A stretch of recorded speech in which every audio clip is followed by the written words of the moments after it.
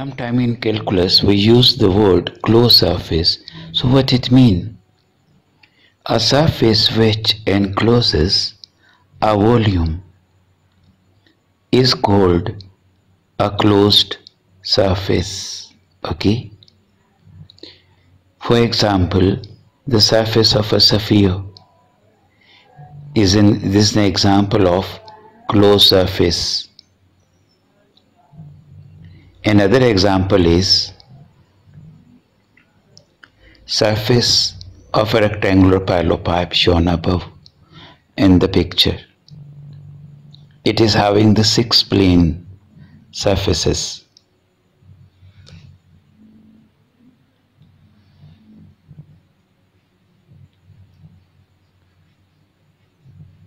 Now to understand the curl of a vector field, we have to understand first of all what we mean by the circulation in calculus. Circulation mean the line integral. This is the line integral of a vector field. The line integral of a vector field A vector. So A vector is written here. The line integral mean dot dr vector and along a closed curve C. So this this is a closed and uh, we put us this C at here.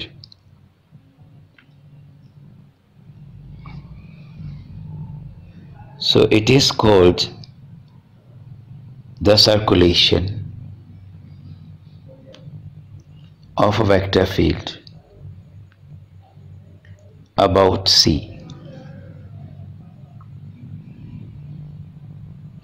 and is denoted by any letter like tau. Let, let we denote it by tau. This line integral okay, of a vector field. Now, you know, we consider a rectangle, a very small rectangle. Of course, the length is uh, delta E and breadth is delta B the length and breadth. Okay delta a and delta b this is very small rectangle of course. And origin is at here origin o. And this is y axis okay and uh, this is this is z axis y axis and this is the now you know uh, way to find the line integral along the closed path. You know which is the closed path? A b c d a. Like a b c d a.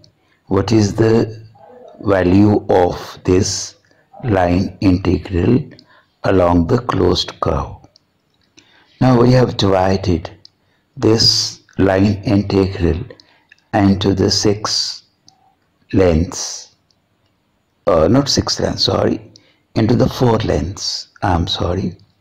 This line integral along the closed curve closed path closed rectangular rectangle is divided here into the four lengths length A to B like this one.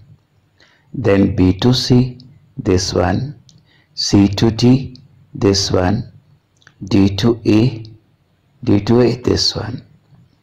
You know like uh, now let we call this ab line integral i1 this we call i2 this is i3 this is i4 and total is i. Now let us consider i1 i1 is what? Like a vector the vector you know which is along this length and dot dr vector. Okay. Now you know a vector it is a it is in a space. So having all the components along x-axis value along y-axis along z-axis ax ay az then dr vector because we are along the y-axis So if here we are we are along y-axis, then that means j cap, and uh, you know the value from here to here. Of course, the value from here to here. Let we first of all we call it uh, uh, because if it is dr, we call it dy. Mean uh, because this length is along y-axis, so instead of dr, we call it uh, dy dy into j cap right now you know i cap dot j cap is 0 j cap dot j cap is 1 k cap dot j cap is 0 only j dot j is 1 so what the result comes?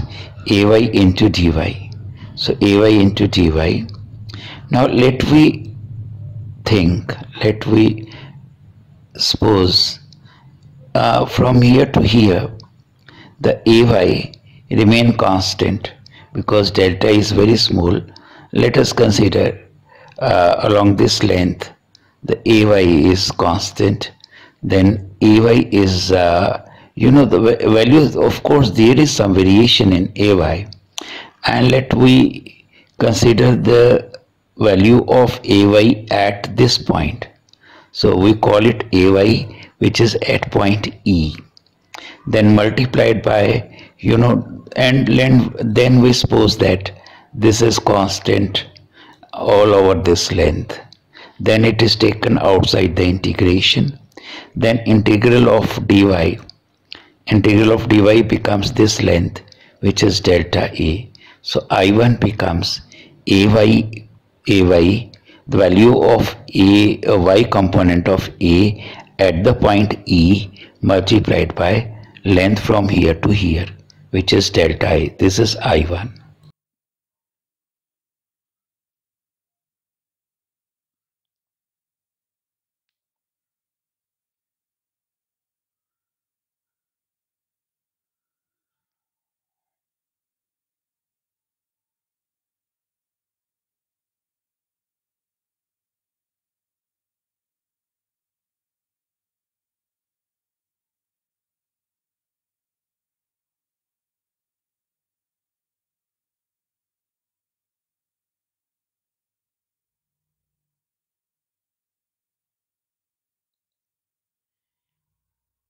the value of ay here it is at point E. At the origin this value is ay at the origin and if we are going from here to here from origin to this point you know then while going from here to here the ay the value of ay the vector a of y component it changes while going from here to here and you know how much distance we are going down? We are going down because negative side of the z. Because z from from origin to above it is positive z. From here to down this is negative z. So how much the change in ay while going from origin to this point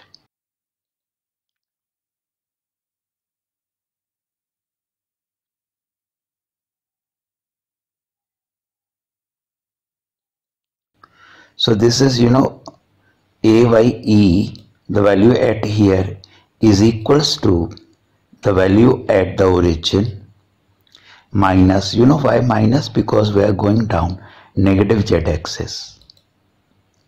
The change in ay with respect to the change in ay with respect to z because you are going down negative z axis. Change in ay with respect to z and how much down we are going from here to here. Total is delta b. So this is half of delta b. Delta b delta b by 2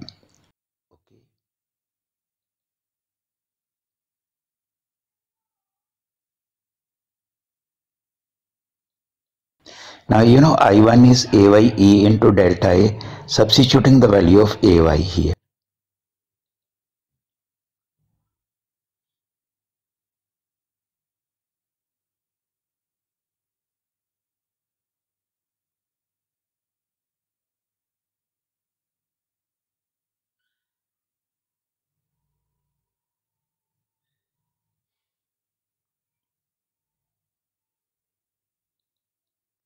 Now the I2 I2 mean along for this length.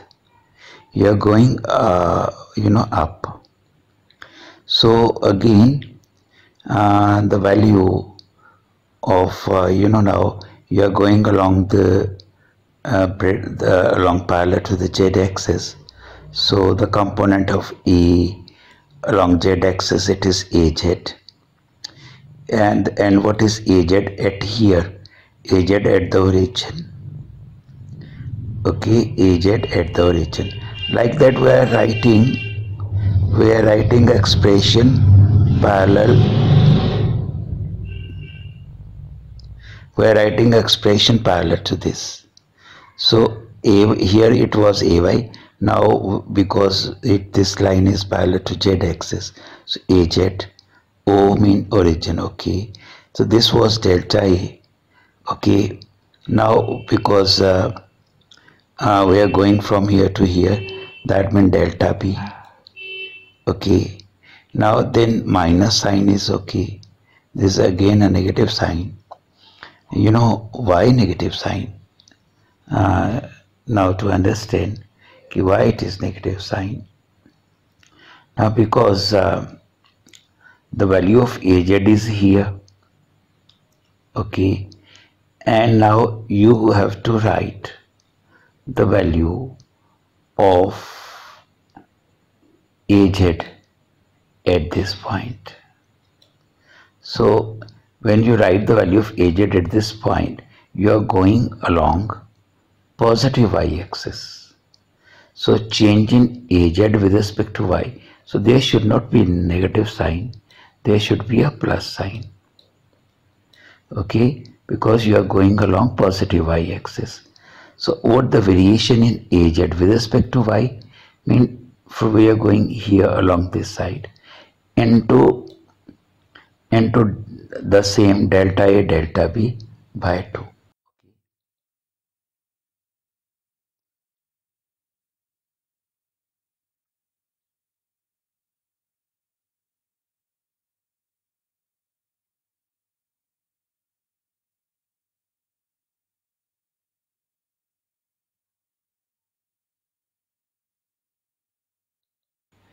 Now writing I3. You know I3 you are going along this side. Negative y-axis. The whole expression will be in minus sign because you are going along this side right and that expression will be similar to I1 no problem but oh, but one difference uh, you you will write again the same like this one. But uh, because ay at the origin now you are going along positive z direction. So instead of minus sign here will be a plus sign okay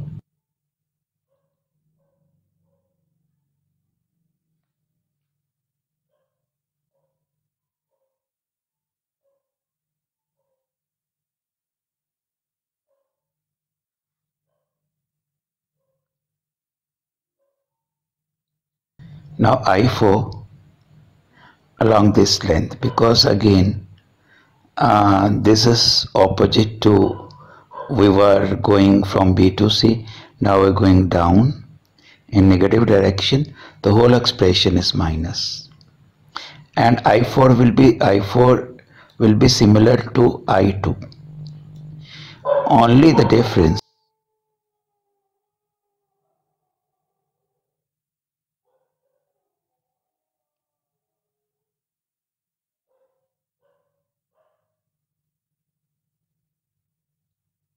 only the difference negative sign is here because we are going down. And second the expression will be similar only the difference. You are going along uh, the value of uh, az at here and you are going along you know negative y direction. So here instead of plus sign here it will be a negative sign okay? Because you are going along negative y direction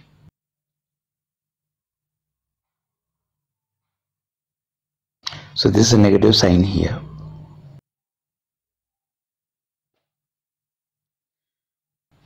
So we are having the value of I1, I2, I3 and I4 and summing up all summing summing up all values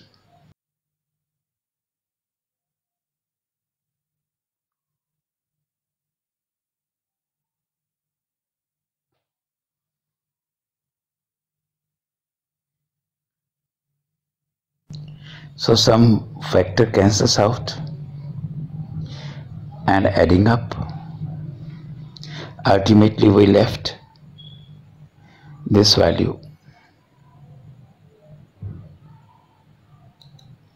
You know delta A delta B this is area of the rectangle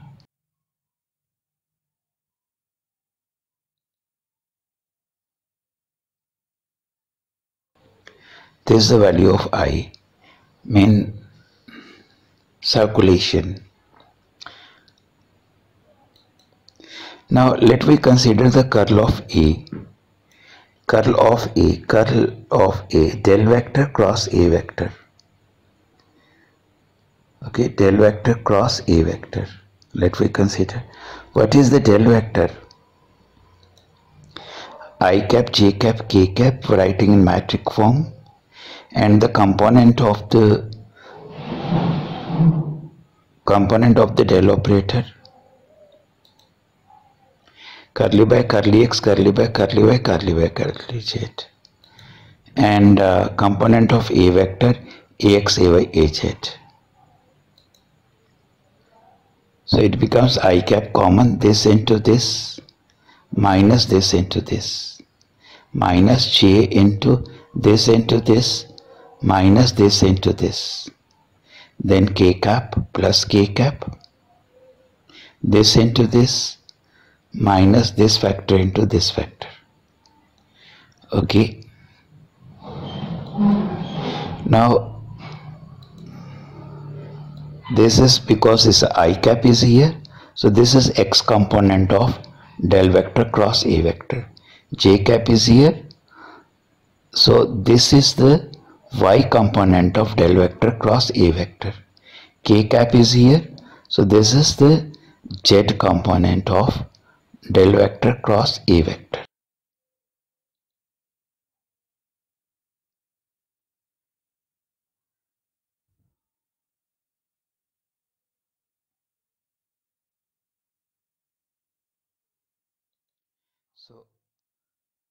X this i cap mean this is the x component. x component of what? Del vector cross A vector. And in magnitude mean uh, just uh, omitting the i cap in magnitude this is the value of del cross a of x component because here it was i cap here so already we are getting this value in the circulation of the vector along a rectangle which was in a yz plane and perpendicular to x-axis.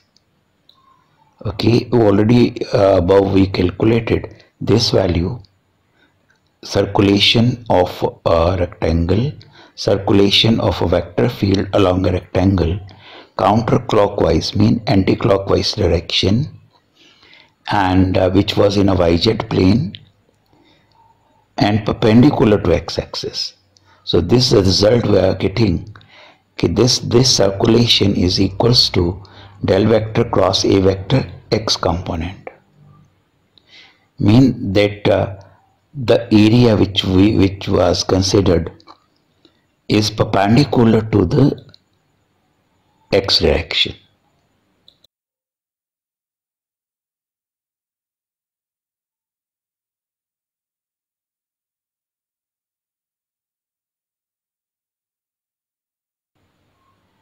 this is circulation along the rectangle. This result which which was obtained okay.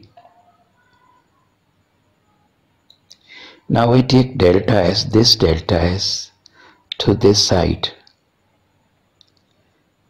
We take delta s to this side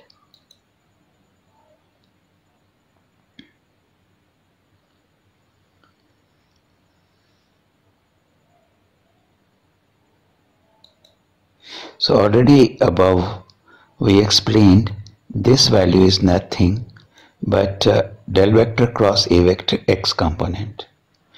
And further because this is equals to the circulation and important results we are getting.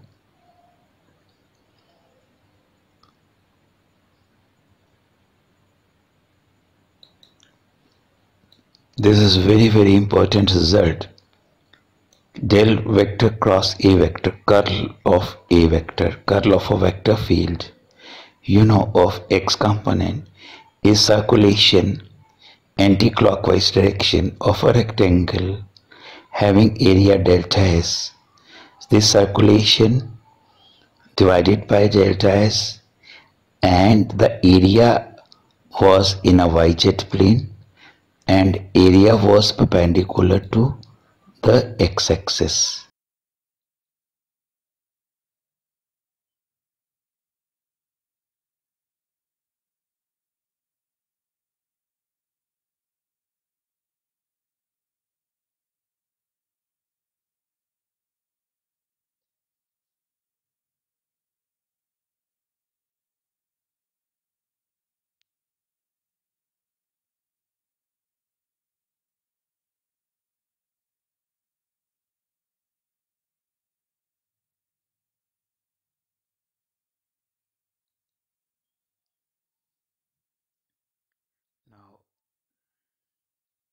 You know uh, why does the cross come in the curl? You know already we explained del vector cross a vector. The value you know the like a vector cross b vector the cross product is always maximum when the angle between the two vectors is 90 degree. The curl is maximum if you are perpendicular to the direction of the field.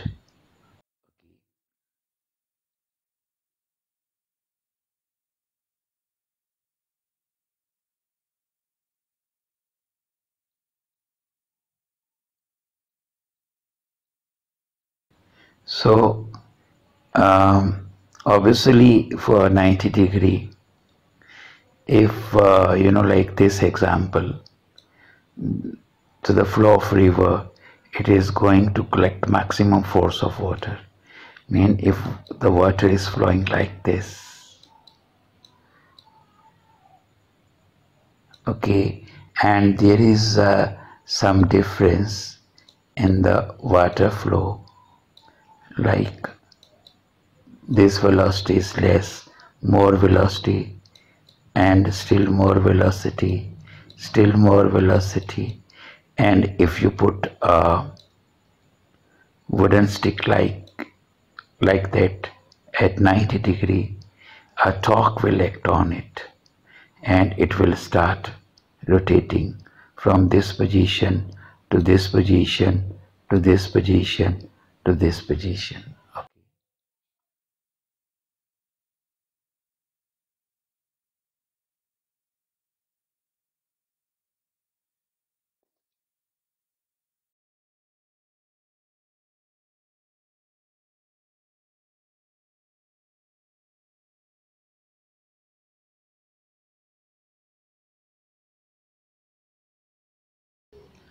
a river is flowing, let us say, and it is flowing in a such a way that first of all at this point on the x-axis velocity is small then velocity increases then still further increases and still more increases. So what happen? If we put a small vector like black arrow or let us say a wooden stick maybe it's a wooden stick in the flow of water okay? And the flow of water is such that velocity is changing in the x direction. Then that would gain the speed that would gain the speed along the x-axis or uh, or we can view as if a force field shown that a wooden stick in the field will get forced in the x direction more and more as it moves. Okay. Now secondly you observe this this river flow and then again notice what would happen if I place a stick in the flow at here or at here or at here or at here or at here. Just imagine yourself okay?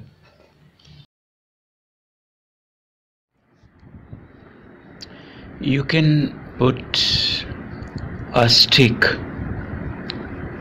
in this position in the position and river is you know like flowing along this direction.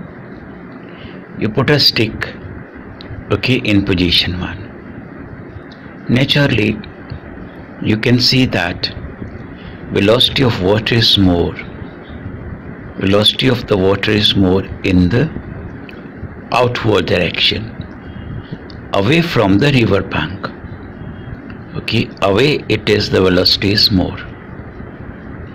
Then towards as compared to at here near the bank.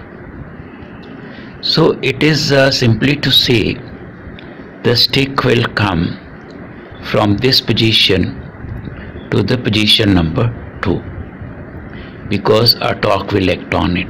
A torque will act and it will settle in the position number 2 okay. And then again the same happens after a certain seconds.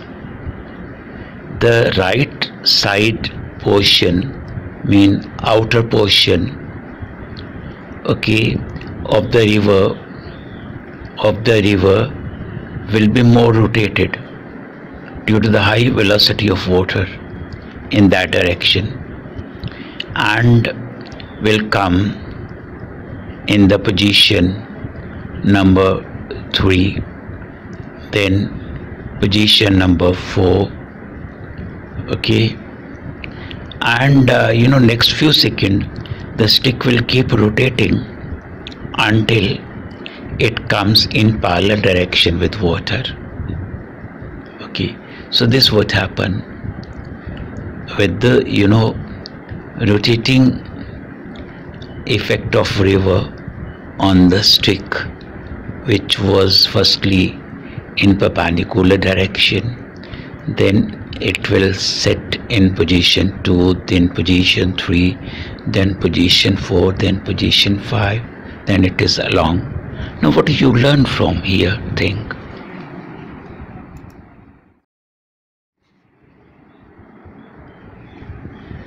Uh, when you put a wooden stick across the water, then it will naturally start rotating like this, like this. You know why? Because velocity of water in the center is maximum. Then velocity decreases uh, like this as well as along this side. Further decreases still more or less okay and ultimately theoretically it is zero along the bank. Theoretically it is zero along the bank. So due to the different velocity vectors this road will keep the, it, the rod will rotate and will settle and will settle ultimately along the river direction. Okay?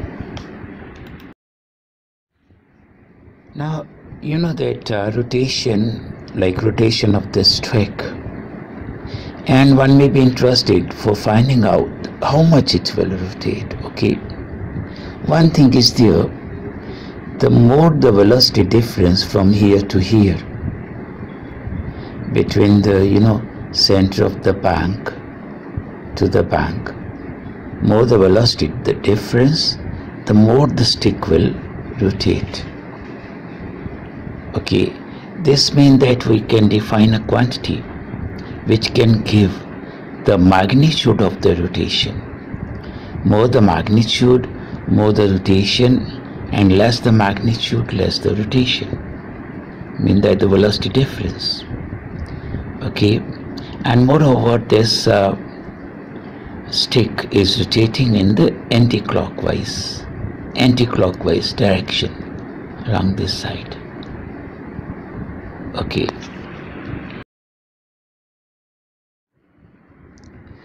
Now you know the cross product of the two vectors give you the direction of rotation.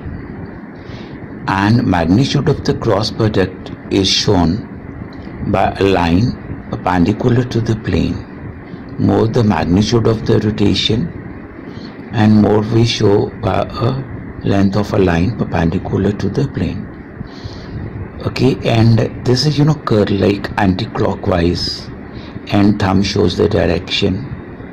Anti-clockwise rotation thumb shows the direction. You curl your finger. And this curl effect of a vector okay is shown by other thumb. And uh, if there is some force field forces in it is in a space f vector fx vector plus fy vector and fz vector and you want to know how your object will be affected by the force then you need to find the curl of the force field f vector. Okay